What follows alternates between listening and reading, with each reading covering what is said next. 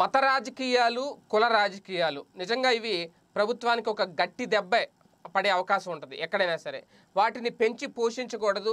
మత కుల రాజకీయాలు ప్రోత్సహించే వాళ్ళు ఎవరైతే ఉంటారో అటువంటి వారికి చెక్ పెట్టే ప్రయత్నం అయితే చేయాలి. ప్రధానంగా మతం పేరుతో రాజకీయాలు చేయాలని చూస్తున్న వాళ్ళు ఎవరైతే ఉన్నారో ఆంధ్రప్రదేశ్లో అటువంటి వాళ్ళకి వైవి సుబ్బారెడ్డి గారు కానీ లేదంటే ముఖ్యమంత్రి జగన్మోహన్ రెడ్డి గారు కానీ చెక్ పెట్టాలి అని చూస్తున్న నేపథ్యంలో కొడాలి నాని గారు చేసిన వ్యాఖ్యలు తలనొప్పి తెచ్చిపెట్టాయా? లేదంటే మైలేజ్ పెంచాయా? పూర్తిగా పార్టీని డ్యామేజ్ చేశాయా? ఇవే చర్చలు నడుస్తున్నాయి ఏ మీడియాలో చూస్తున్నా. దీనికి సంబంధించి రాజకీయ విశ్లేషకులు కూడా ఎవరి అభిప్రాయాన్ని వాళ్ళు వ్యక్తం చేస్తున్నారు? ఎక్కువ శాతం కొడాలి నాని గారి వ్యాఖ్యలను తప్పుపడుతున్న సందర్భం అయితే చాలా స్పష్టంగా కనబడుతుంది. ఎందుకంటే డిక్లరేషన్ విషయం ప్రధానంగా తిరుమలలో శ్రీవారి గుడిలోకి ప్రవేశించే అన్య మతస్థుల డిక్లరేషన్ గురించే ఇప్పుడు చర్చ జరుగుతుంది. ఈ వ్యవహారం మీద already TTD chairman YV Subba Reddy గారు క్లారిటీ ఇచ్చారు. సీఎం జగన్ గారు గతంలో పలుమార్లు శ్రీవారిని దర్శించుకున్న టైంలో డిక్లరేషన్ డిక్లరేషన్ సమర్పించలేదు అని అలాగే సోనియా గాంధీ కానీ లేదంటే వైఎస్ఆర్ గారు కూడా డిక్లరేషన్పై సంతకం చేయలేదని చెప్పడం. అయితే ఆయన మాటలను వక్రీకరించి డిక్లరేషన్ అంశానికి కట్టుబడి ఉన్నామని చెప్పారు అనేది ఆయన ఇచ్చిన క్లారిటీ.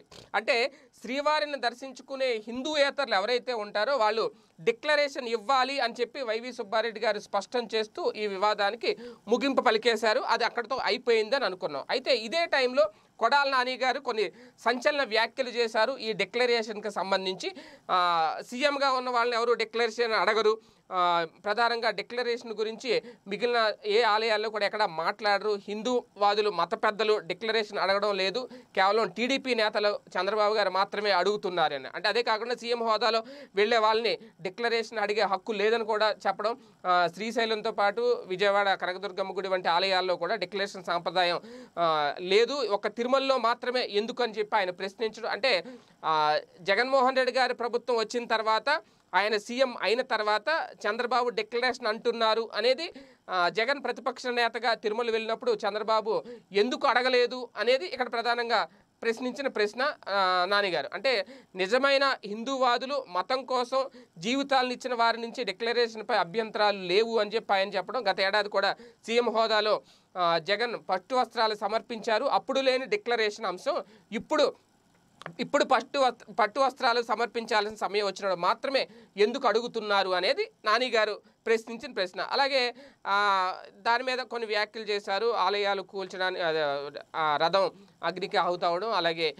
హనుమాన్ విగ్రహం ఎవరో దాని మీద దాడి చేయడం సాయిబాబా విగ్రహాన్ని కూల్చివేసే ప్రయత్నం చేయడం ఇవన్నీ వాటి మీద కూడా స్పందించారు. అవన్నీ కూడా ఇప్పుడు అంటే కనకదుర్గమ్మ ఆలయంలో ఆ రథానికి సంబంధించి వెండి అవి ఏవైతే ఉన్నాయో వెండి ప్రతిమలు సింహం ప్రతిమలు అవి మాయం కావడం వీటన్నిటి మీద కూడా ఆయన కొంచెం అగ్రెసివ్గా మాట్లాడడం ఇవన్నీ ఇప్పుడు చాలా విమర్శలకు తావిస్తున్నాయి. ఎందుకంటే ఇప్పటికే నానిగారు నాని గారు చాలా దూకుడుగా ఉంటారు నోటి దురుసు మనిషి ఏదొచ్చినా కంట్రోల్ చేసుకోకుండా మాట్లాడేస్తారు. రాజకీయాల్లో ఓకే కానీ దేవుళ్ళని తిట్టడం ఎంతవరకు కరెక్ట్ అనే ప్రశ్న అయితే లేవనెత్తున్నారు ఇప్పుడు హిందువులందరూ కూడా హిందువులు పెద్దలు హిందూ రక్షణ సమితులు వీళ్ళందరూ కూడా నానిగారిని వ్యాఖ్యలను తీవ్రంగా ఖండిస్తున్నారు. సో ఇటువంటి నేపథ్యంలో ఇది మైలేజ్ విషయం పక్కన పెడితే పూర్తి డ్యామేజ్ అయితే తీసుకొచ్చింది.